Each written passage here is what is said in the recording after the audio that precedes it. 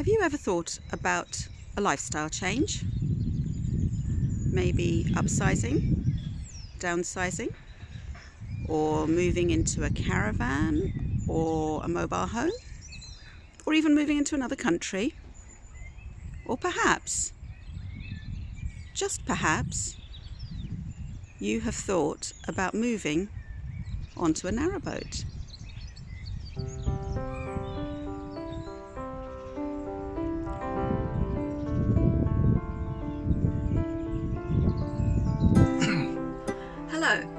Welcome to the Lifestyle Change Part 2 of Peter's journey on the narrowboat. Last week we covered the thought processes and decisions that Peter had to make in order to become a full time narrowboater. And this week we're talking about what he did to the interior of the boat to make it comfortable for him to live on, and also what uh, stages he went through to actually move onto the boat with a cat. That might be of interest to some of you. So, Peter, what did you have to do in order to move on board and then to bring Flan on board? Right. Well, the first things once the boat was legally mine, then um, if you remember, we went up and went to the nearest marina and filled the tank with diesel ready to move. I was a bit surprised to find it was only quarter full, um, which was more a problem later. Maiden voyage of Peter's boat, going out of Crick Wharf to get some diesel. And I'm just perched on the edge here, hoping that I'm not going to fall over or off the boat. Okay, so we're going a bit further along. It's snowing. It's cold. Are we turning in this one? Nope. Don't think so. Um, and then um, we, on that trip or another trip, we actually took some things and placed them in the cupboards.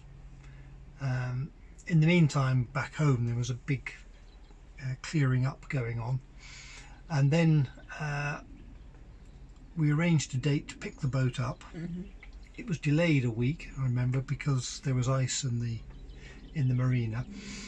Um, but we set the date for 21st of March, uh, the Wednesday. So Simon, my son, came over from Prague and stayed at the house for, for 10 days. Why did he have to do that? Well, he was clearing all his stuff up because he'd been living in the house, and the there was one room that was had lots of his stuff laid out, and that all had to be packed away, ready to let the house, and um, and also to look after Flan because I didn't want to be dealing with a new boat and also dealing with a cat in a completely new world at the same time. I think that would have been quite nerve wracking to do. I wouldn't have liked to have done it. then on the day, uh, I packed a case and took the train up to Rugby, got a taxi to the, the boatyard. Uh, there was a bit of a delay because the day before they told me the water pump had failed. So they fitted a new pump, and the, the chap who did the work there was cash only. So I had to rush off to the post office in the village and get some cash out. And you didn't have a car at that point. You went to the boat on the train on that occasion Yes. because obviously you were going to take the boat and start cruising. Yes, and we filled the water tank up for the first time. Uh, and I discovered then that the hose that was on board for filling the, the water tank was barely the length of the boat. so if I couldn't get the boat into the water point the right way round, it was going to be tight. So I decided right away that I needed a new hose.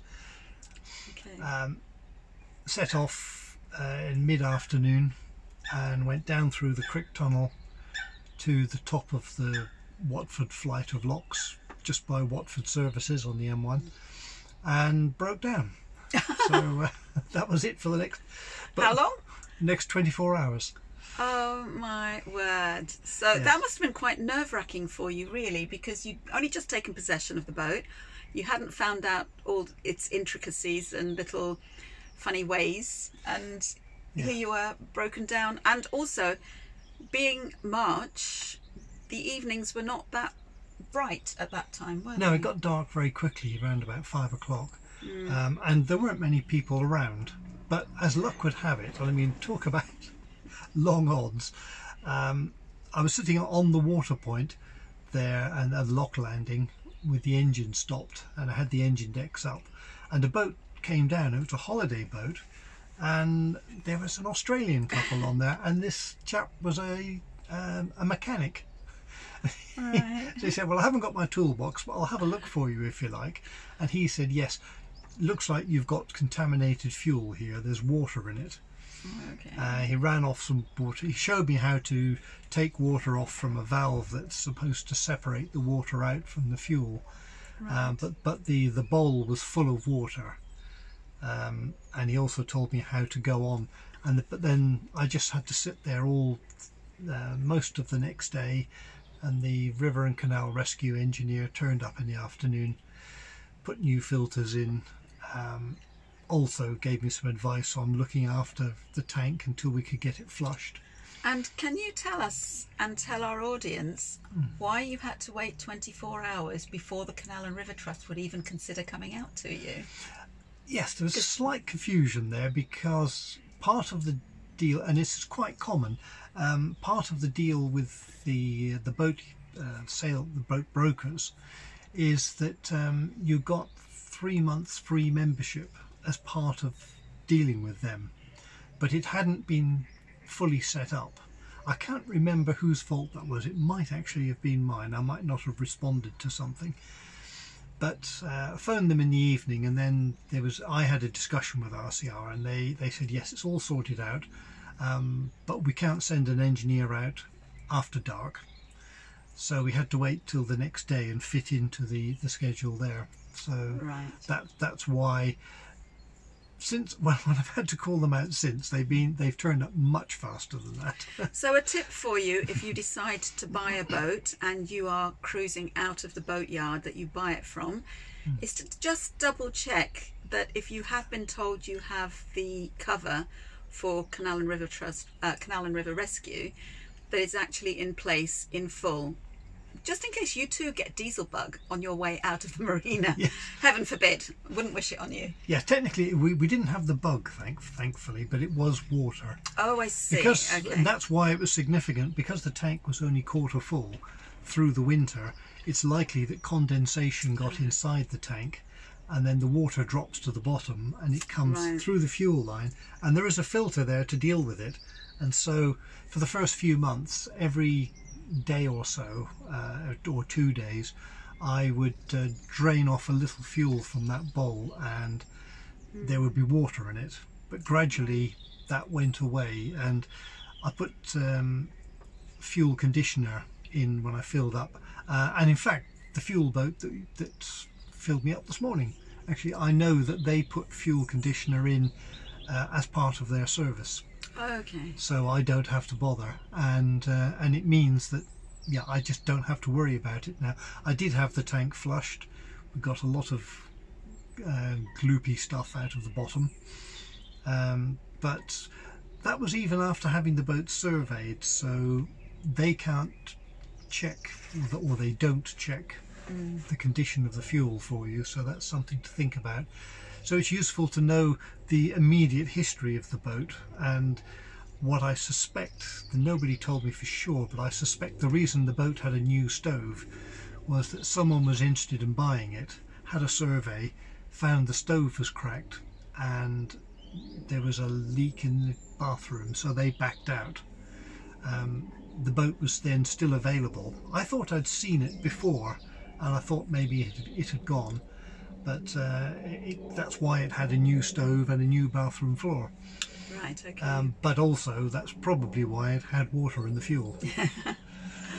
Okay, so you've picked up your boat, you're merrily cruising along, you break down, you get fixed, and then you start cruising again.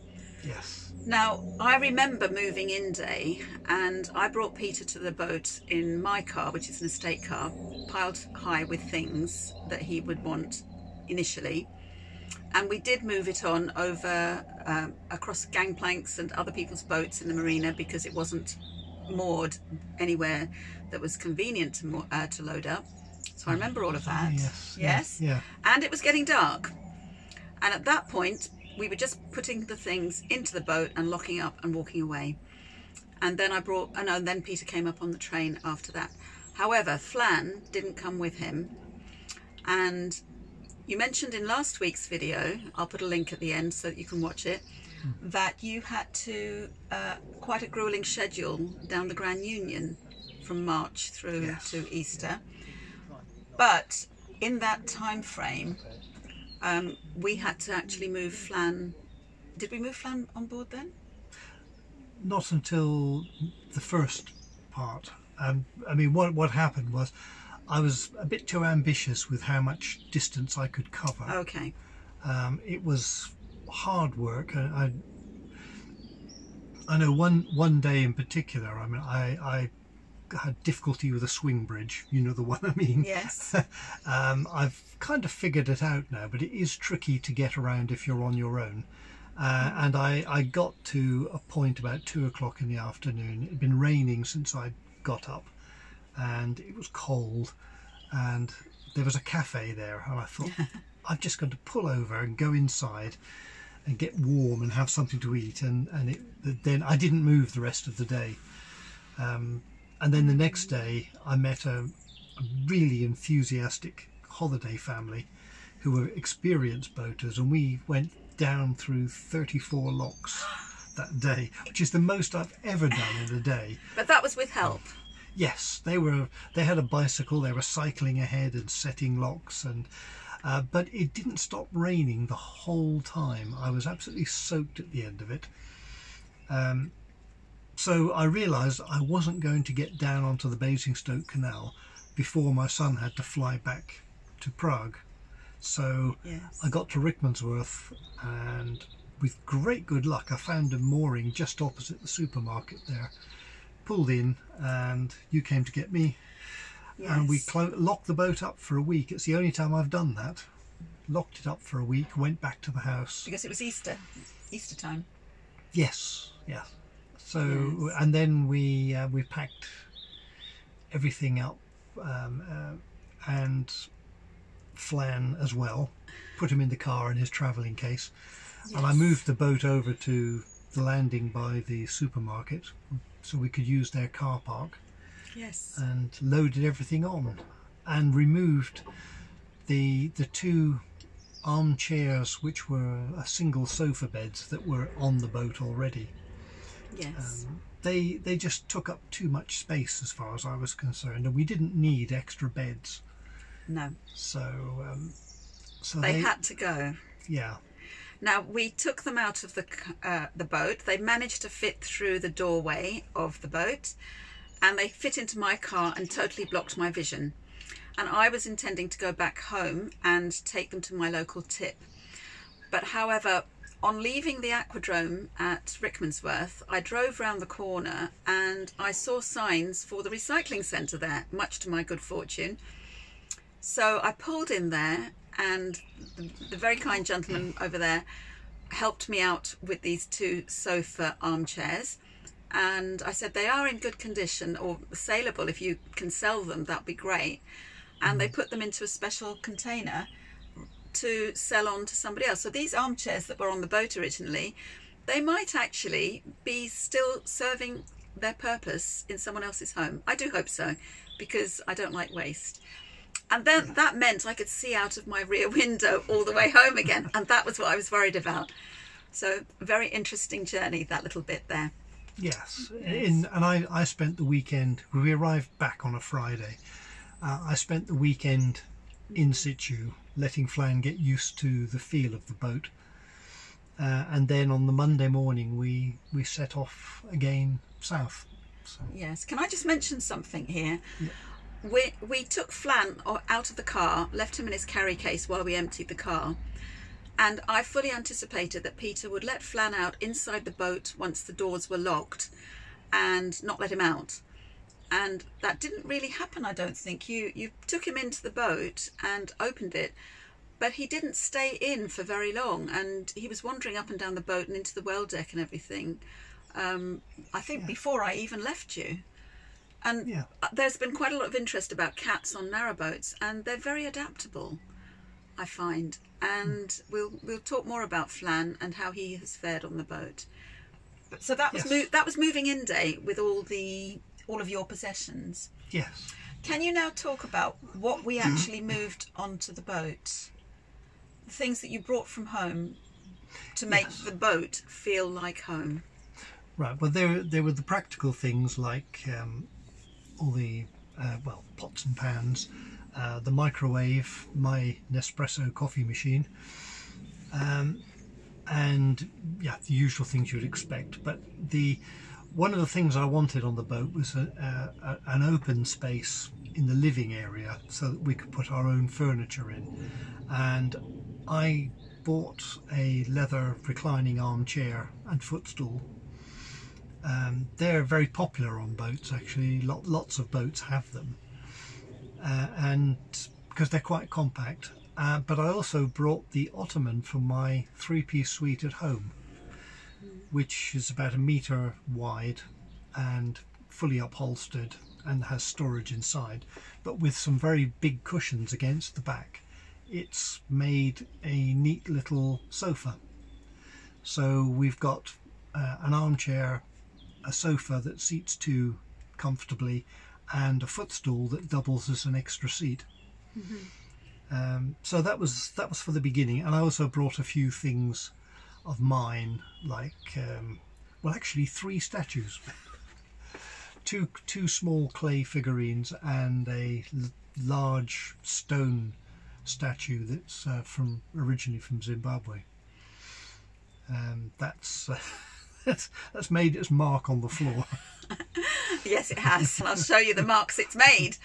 Um, you also brought some artwork with you.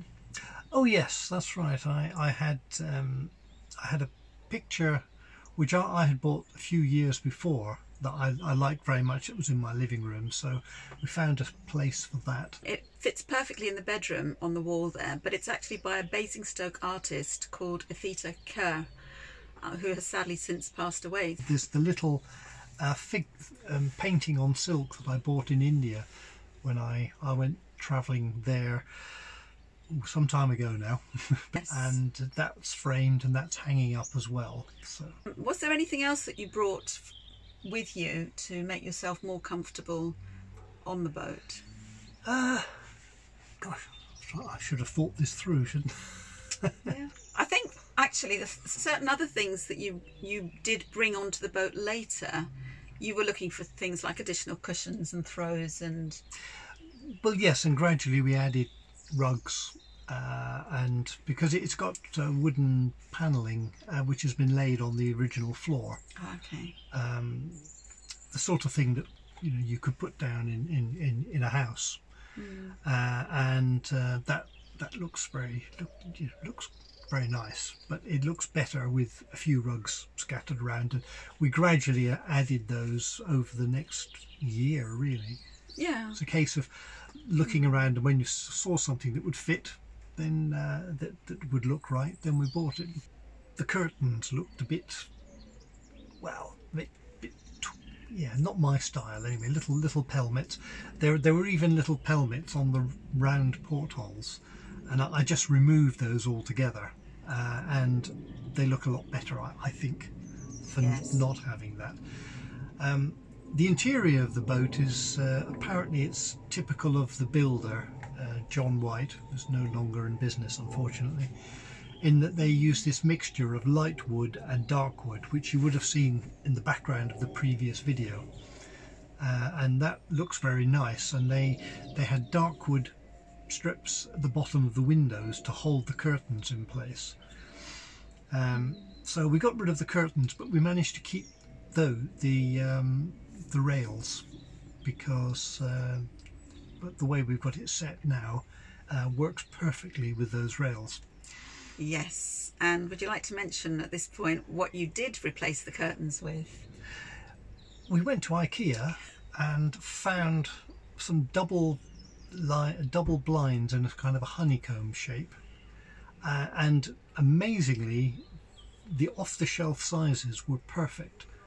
Um, they, I got four for the for the windows, and one for the the front doors Yes. and um, they're great for the boat because you they pull down. There's no cords.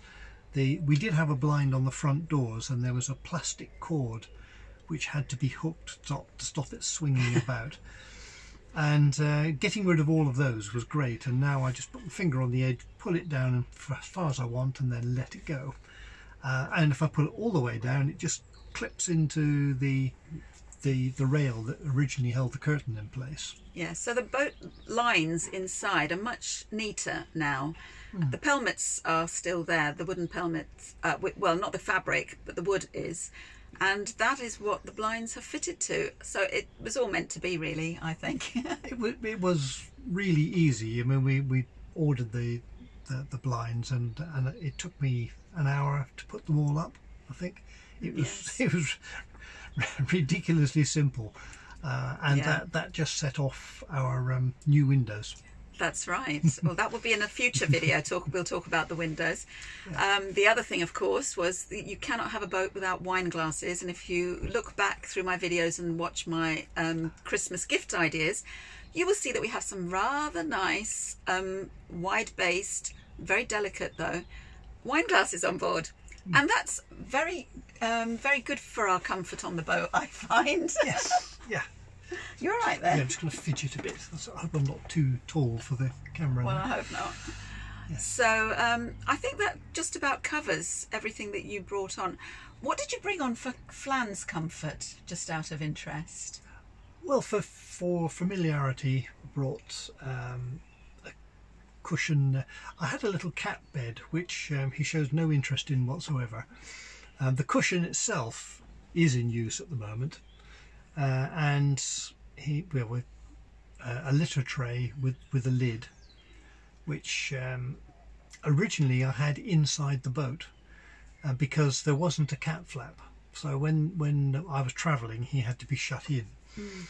Um, I've since made a hole in the door, which I, I bought a cat flap and then didn't fit it because it was it looked too big to go in the door, and I cut a hole that he can comfortably get through. And um, and then Marianne hang, hung a toweling curtain over it. I will show you that. it's very interesting. It was supposed to be temporary, the way we've affixed it to the door. It's been like that for three years. It's come off, I It just- think, twice, and we've just so restuck well. it. And the beau- one of the unexpected benefits of it is when he goes through from the inside, the curtain then hangs at the bottom outside the door, so I can tell at a glance if he's in or out. because of course he can make his way on and off the boat when we're moored, and, and then I discovered that the the litter tray would fit on the outside of the door.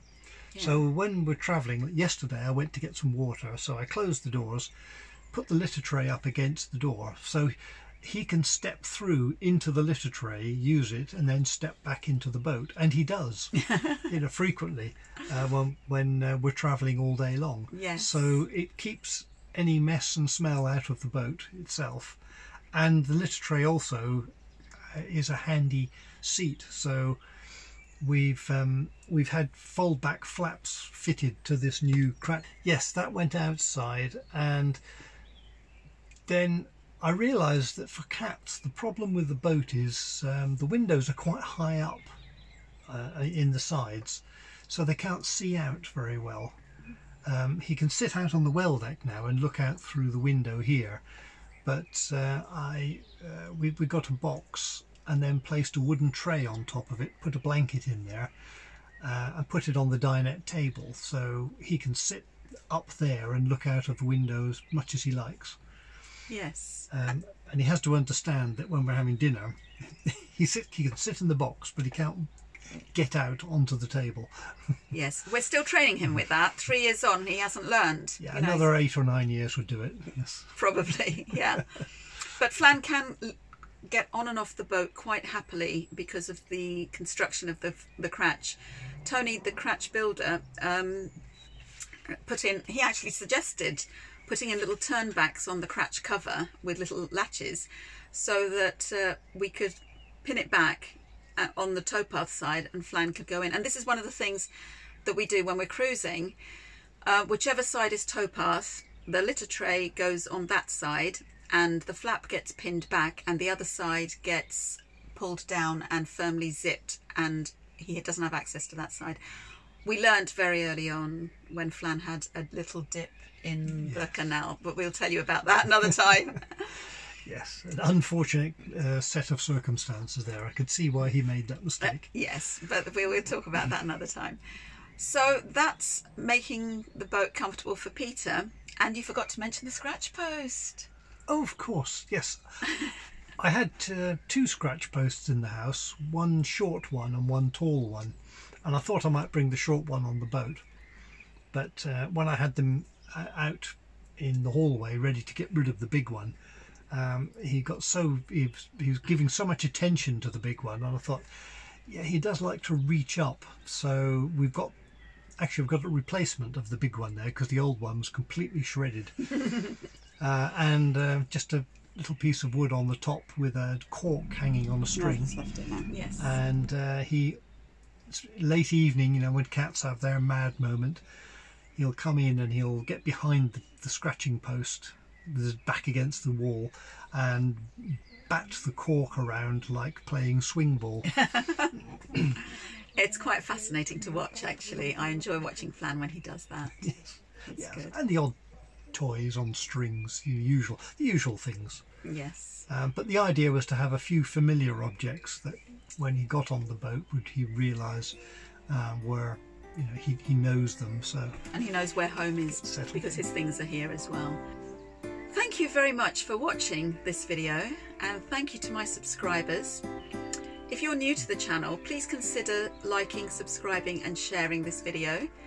Um, we will be putting out a couple more videos based on Peter's last three years. It's been a fascinating journey.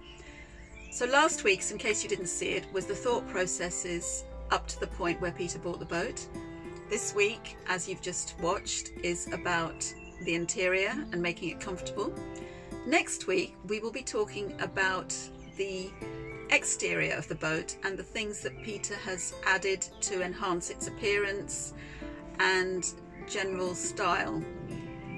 Um, so, until next week and next week's video, yes. bye. Bye.